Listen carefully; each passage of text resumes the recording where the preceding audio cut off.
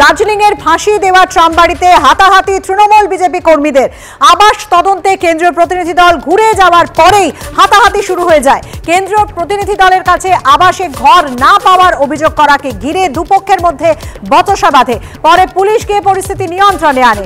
আরও একবার জানিয়ে রাখি, আজ কেন্দ্রীয় প্রতিনিধি দল তারা ফাঁসি দেওয়ার ট্রাম বাড়িতে যায় এবং সেখানে তারা চলে যাওয়ার পরই একেবারে হাতাহাতি শুরু হয় তৃণমূল বিজেপি কর্মীদের মধ্যে।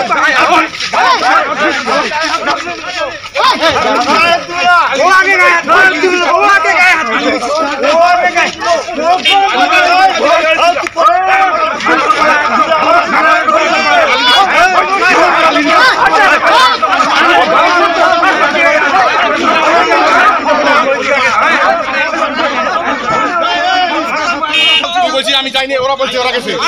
সার্ভের সার্ভে আমি কি বলছি যে সার্ভে করেছে যে সার্ভে করেছে সে টাকা খাইছে যে সার্ভে- তোকে কি নাম ধরে বলছে না না তোকে কি টাকা দিয়েছে তোকে কি টাকা দিয়েছে আমি সার্ভে করার কথা বলছি তোকে কি টাকা দিয়েছে তুই খাইছিস আমি খাইছি হ্যাঁ তুই খাইছিস তুই খাইছিস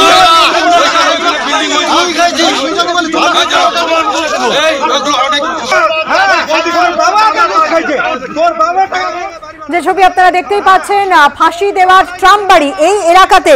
আজকে কিন্তু কেন্দ্রীয় প্রতিনিধি দল আসে এবং সেখানে আবাস যোজনায় দুর্নীতির যে অভিযোগ উঠেছে তা খতিয়ে দেখে এবং যারা বাড়ি পায়নি তাদের সঙ্গেও যেমন কথা বলে, আবার যারা বাড়ি পেয়েছে তাদের সঙ্গে কথা বলে এবং তারা ফিরে যাওয়ার পরই যে ছবি আপনারা দেখতে পাচ্ছেন, যে তৃণমূল এবং বিজেপি কর্মীদের মধ্যে একেবারে হাতাহাতি বচসা শুরু হয়ে যায়। আমাদের প্রতিনিধি বাচ্চু দাসের সঙ্গে কথা বলব। বাচ্চু দাস মানে কীভাবে এই ঘটনার সূত্রপাত হলো?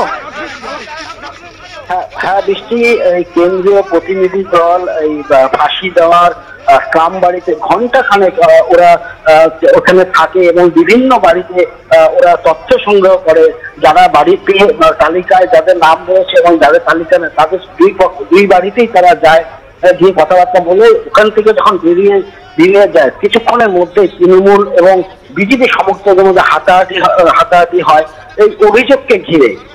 এক পক্ষের দাবি যে কিছু অভিযোগ মিথ্যে, আর আবার আরেক পক্ষের দাবি যে অভিযোগ সত্যি, এই নিয়ে হাতাহাতি কিছুক্ষণের জন্য হাতাহাতি হয়। বৃষ্টি এখন পরিস্থিতি কি? এখন পরিস্থিতি তারা তারা ওখানে সেই সময় এক পুলিশ মোতায়েন এক পুলিশ ছিল পুলিশ কর্মী ছিল সে তাদেরকে সরিয়ে দেয় এবং তারা অর্থাৎ পুলিশের উপস্থিতিতে আপাতত শান্ত পরিবেশ কিন্তু যে ছবি আপনারা দেখছেন কেন্দ্রীয় প্রতিনিধি দল ফিরে যাওয়ার পরেই কিন্তু বিজেপি এবং তৃণমূলের কর্মীদের মধ্যে একেবারে বচসা হাতাহাতি শুরু হয়ে যায়।